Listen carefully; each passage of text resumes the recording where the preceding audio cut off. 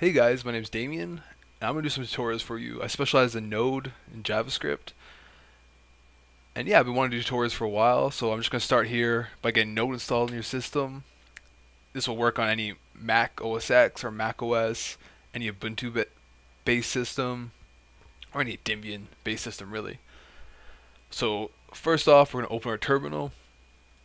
You can see we got a nice blank terminal here, and we're just going to run a simple startup script. I'll put this in description so you can like, copy and paste it. And no reason to memorize this. So what's happening here is we're going to use curl, which is going to grab that URL, that nice long one, and that URL contains an install script. And that install script is going to be run on our bash. And what this is going to do for us is it's going to download NVM and it's going to put some export variables in our bash RC if you're in Ubuntu, or if you're running Mac, it'll be in your bash profile. And we'll go through that after this. So you can see that it tried to download something, but since I already have installed, it's like I already have this, we don't need to do this. On your system, you'll see a little low bar and all that good stuff. So after this, there's two things you can do. You can just close your terminal and restart it to get the updates we just applied, or you can source your bash profile or your bash profile or bash RC if you're in Ubuntu. I'm in Ubuntu, so I'm going to run bash RC. You can do bash underscore profile if you're rocking a Mac.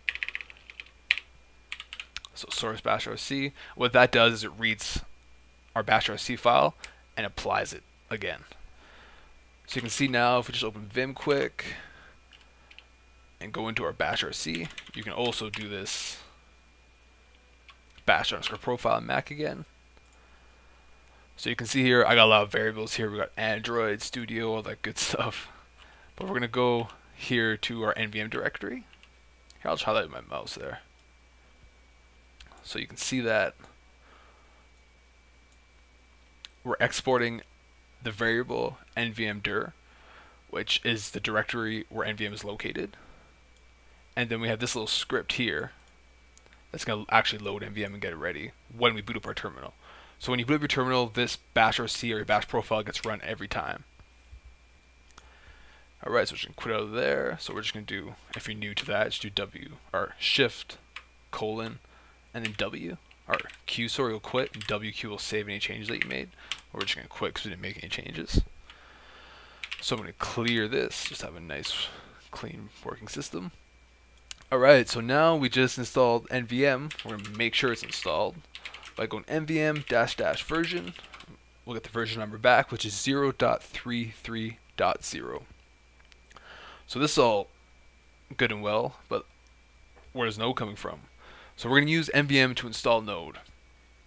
And to keep this video current, we're just going to open up an internet browser. Awesome. And we're just going to search current uh, stable node. Right, so we can see that version 6 is the most current one, and this most stable one is 5.11. So we're just going to run nvm install, and then the version number. So what we're going to do here is 6.0.0, as you can see right here. So that's going to do is I already have it installed, but it will install that version and mark it as the one you're going to use. So now if we go node-v, we'll see that we have version 6 running. If you have different versions running at the same time, you can use NVM to switch between them, which is very helpful if you're working pro different projects or different groups of people. And all you have to do there is either NVM install that version or NVM use and then the version number. So say I want to use 5, which I'm pretty sure I have installed here. Awesome. So now if I do node-v, we're running 5. So what we're going to do now is nvm use 6 oh, dot 0 dot 0 so I don't mess myself up later. and yeah, so that's the basics of installing nvm and then node. You'll also get npm with that. Node now ships with npm, and that's Node Package Manager, so you can npm install any package you want. We'll definitely get into that in a later video, but in the scope of this video, it's not that important. And uh, we'll just go over the Node REPL real quick. So when you install Node, it's actually uh, based on the V8 JavaScript engine that's in Chrome. So it follows the guidelines of that. So we, if you just type in node, we'll get a REPL, which is read, evaluate, print, and loop. So it just lets you essentially write code in here. It's going to read the code you write. It's going to evaluate that expression, and then it's going to print it to the screen. So you can see now const hello equals hello. So now this is going to evaluate to undefined because I didn't return anything. But if I then use that variable, it's going to return the string hello. So you can, that's a very simple example, but you can put programs in here to debug. You can do any of that good stuff.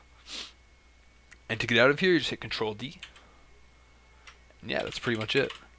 So what I'm going to try to do is uh, start from here and step up to do maybe a little express program, use npm, and just start from the very basics for people trying to learn Node and JavaScript and just get into the scene.